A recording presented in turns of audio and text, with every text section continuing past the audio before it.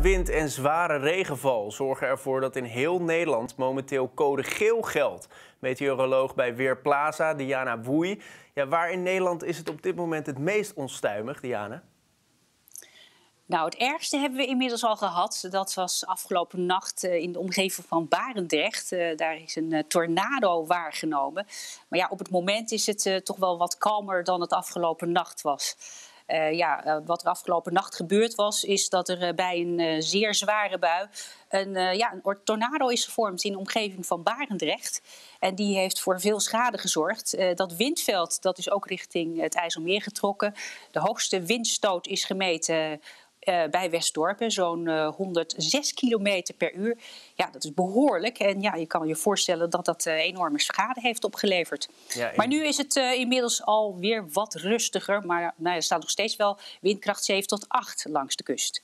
Gelukkig begint het af te vlakken. laten we even een kijkje nemen in Barendrecht, want daar vielen zelfs vier gewonden. Uh, nou, ik liep naar beneden toe. Toevallig was ik al wakker. En uh, toen ineens begon het hele huis te beven. En uh, toen hoorde je een hele harde knal. En toen is er een, een dikke tak in de slaapkamerraam van ons dochtertje naar binnen gevlogen. Dus mijn dochter lag helemaal onder glas. Um, en allemaal bomen hier zo naar beneden gevallen. Dakkapellen eraf. dus dat was behoorlijk schrikken, maar gelukkig is alles oké. Diana, je had het al over tornado's. Er waren ook sprake van zware windhozen. Wat is eigenlijk het verschil tussen die twee? Uh, nou ja, bij tornado's is de kracht nog iets sterker dan een windhoos. Die is niet zo uh, ernstig. Maar goed, een windhoos kan ook wel schade opleveren. Maar een tornado, ja, dat is een behoorlijke draaiing. En die ontstaan eigenlijk in een zeer onstabiele atmosfeer. En daar hebben we de afgelopen nacht mee te maken gehad.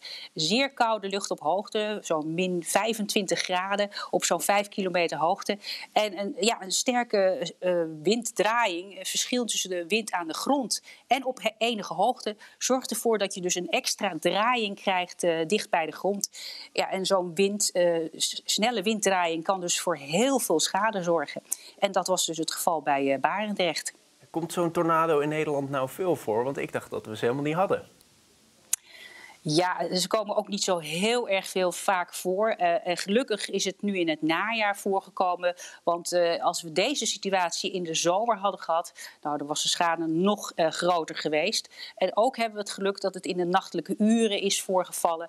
Ja, dan is het, is het natuurlijk ook dat de meeste mensen gewoon binnen zitten. En ja, dan is de, blijft de schade dan wel beperkt, in ieder geval wat slachtoffers betreft. Uh, maar ja, ze kunnen dus wel voorkomen. Ja, je, je zei al, we hebben nu wel het ergste achter de rug. Hoe zit het met het weer voor de komende dagen?